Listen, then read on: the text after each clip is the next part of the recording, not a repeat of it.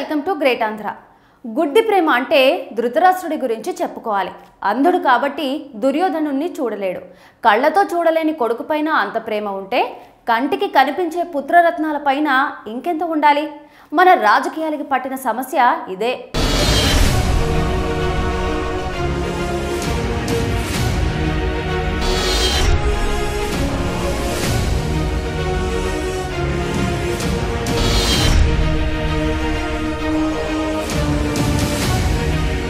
ఆనాటి భారతం నుంచి ఈనాటి వరకు కూడా పుత్రులే పార్టీల కొంప ముంచుతోంది.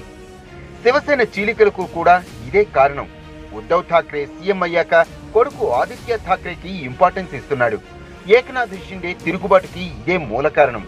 ఆయన శాఖలో కూడా ఆదిత్య వేలు పెడుతూ ఉండడంతో తిరగబడ్డాడు. రెండు వేల ఆరులో కూడా ఇదే జరిగింది. బాల్ ఠాక్రే సోదరుడి కొడుకు రాజ్ ఠాక్రే పార్టీ పగ్గాలు ఆశించాడు. అయితే బాల్ ఠాక్రే తన కొడుకు ఉద్ధవ్ వైపు మొగ్గు చూపాడు. పార్టీ చీలిపోయింది.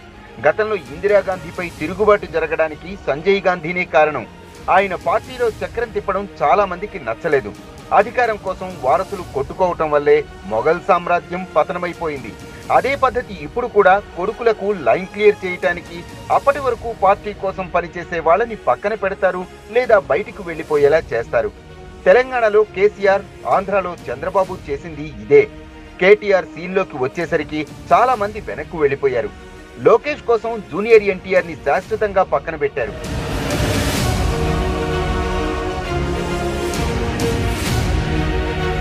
అతను ఉంటే పార్టీలో ముసలి వాసన తగ్గి కొంచెం గ్లామర్ ఉండేది.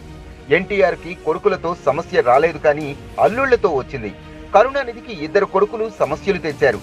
ఈ పోరులో స్టాలిన్ గెలిచాడు. అతను కొడుకు ఉదయనిధి అప్పుడే సిద్ధమవుతున్నాడు. బీజేపీ అదృష్టం ఏమిటంటే వాజ్పేయికి వారసులు లేరు. అద్వానీకి ఉన్న యాక్టివ్గా లేరు. మోదీకి అసలు సమస్య లేదు.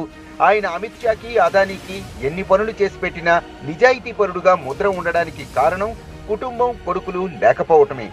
వైఎస్ఆర్ హయాంలో జగన్ జోక్యం ఎంతో కొంత ఉన్నా అది ఆయన ప్రభుత్వాన్ని ప్రభావితం చేసేంత లేదు.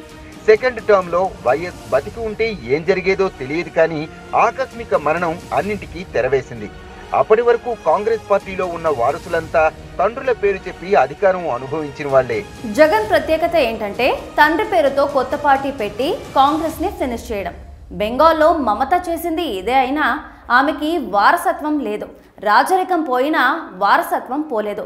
ప్రజాస్వామ్యం అంటూ ఉంటాం కానీ ఇప్పటికీ మన దేశంలో అధిక శాతం కుటుంబ పాలనే నడుస్తూ ఉంది.